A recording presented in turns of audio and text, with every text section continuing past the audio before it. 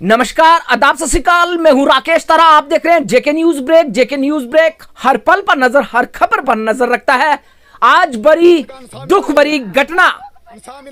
आज सुबह सवेरे अभी सूरज निकला ही नहीं था और एक घर का इतना हुआ नुकसान। ये रिपोर्ट देखिए, जेके न्यूज़ ब्रेक आपको डिस्ट्रिक्ट राजौरी के उजान एरिया की ये रिपोर्ट बता रहा है। कि किस तरह से एक कैटल शेड में लगी आग और पूरा कैटल शेड में लगी आग, वहाँ कैटल शेड में जो जानवर थे, वो आग के हुए शिकार, वहाँ के परिजनों का कहना कि सुबह पाँच बजे भी जैसे हमें पता चला, हमने तुरंत इनको बताया और जब ये पहुँचे और देखा कि धुआँ ही ले चुकी थी, उगर रूप, उसके कारण जो है, जब वो पहुँचे तो देखा कि पूरे जो बेड़, बकरी और बैंस थी, वो आग के हवाले हुई।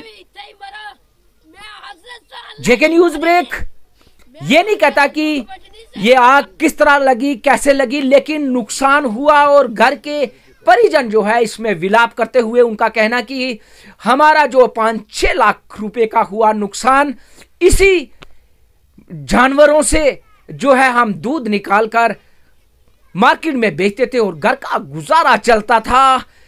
और इस पर जेके न्यूज़ ब्रेक ने ये रिपोर्ट तैयार की और आपके समक्ष रखी और उन्होंने कहा कि सरकार एडमिनिस्ट्रेशन इस पर कुछ हमें रिलीफ दे और जो भी रिलीफ बनती है वो दे ताकि हम दोबारा जो है, माल मवेशी लाकर अपना गुजारा कर सकें और खासकर एक बात जेके न्यूज़ ब्रेक, आप सब लोगों को ये भी बताना चाहता है कि जो दूर दराज एरिए में रहते हैं, जिस तरह से कैटल शेड होते हैं, कई लोग जो है, उसमें आग जलाते हैं कि हमारे मवेशी जो है गर्म रहें और आग जलाकर कभी उन्हें ध्यान नहीं रहता है कि इसको बुझाना भी है और कई बार वो आग भी उग्र रूप ले लेती है और नुकसान हम लोगों से अपील करते हैं कि खासकर अगर आप कैटल शेड में अपने जानवरों को आग की सुविधाएँ देते हैं तो उस पर ध्यान भी रखें, आग को बुझाएँ, ताकि ऐसा नुकसान ना हो।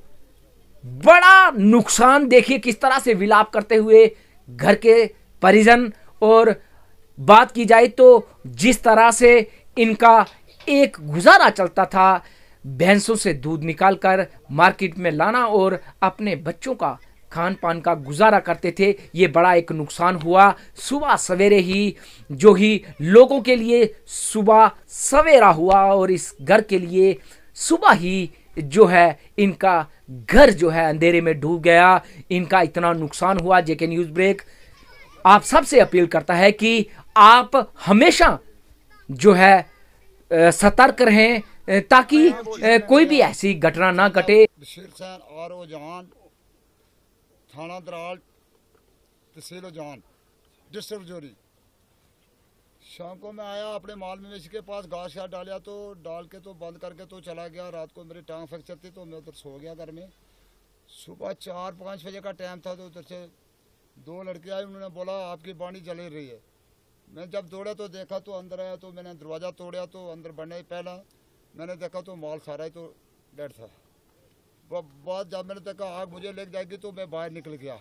और वाला मुझे ये पता नहीं है किसने लगाई है, या क्या किया, क्या मेरे साथ दुश्मनी थी। और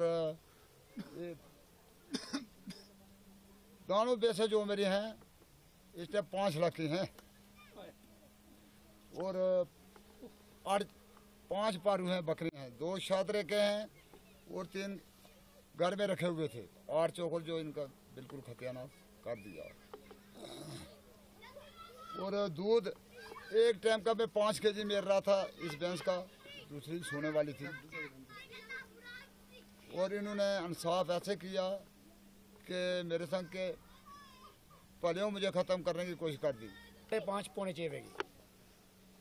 इधर से शोर पड़ा और उधर से एक लड़के ने मुझे फ़ोन किया। जी सर, नाम मेरा मोहम्मद लियास सर नाम बशीर सैन। ये मोहम्मद रियाज और मेरे भाई और सकना हम अजान रहते हैं। तहसील थाना और हमारा दराल है। ये बार नंबर चार है। और सुबह साढ़े पाँच छः बजे की बात है सर। इधर से शोर आया, उधर से फ़ोन आया। बोला, उधर बाड़ी जल रही है। उस वक्त मैं अंदर से जब निकला, मैंने इनको भी आवाज़ दिया। मेरा छोटा लड़का था, मैंने उसको भी आवाज़ दिया। और हम उधर से दौड़ के आ गए। जब पे मैं यहाँ पे पहुँचा और पहुँच गया। यहाँ पे मैंने इसका जो दरवाज़ा था, वो मैंने पीछे मैंने तोड़ दिया उसको। ताला लगा हुआ था। मैंने उसको जब तोड़ा तोड़ के मैं अंदर चला गया जब देखा मैंने ये छह के छह चोखर जो मर गए थे। धुआँ था। अब मुझे ये मालूम नहीं है लगाई है या खुद लगी है ये मुझे इस चीज़ का मालूम नहीं है। जब हम पहुँचे उस वक्त आग लगी हुई थी और ये माल खत्म हो गया। सर हम क्या किसी को कैसे बोलेंगे कि किसी ने लगाई या नहीं सुबह हमने पुलिस वाले को फ़ोन किया था एडमिशन वाले को। वो तीन आदमी आए थे डॉक्टर साहब आए थे और अपना गुलाब साहब पटवारी और आए थे। उन्होंने मौका देखा।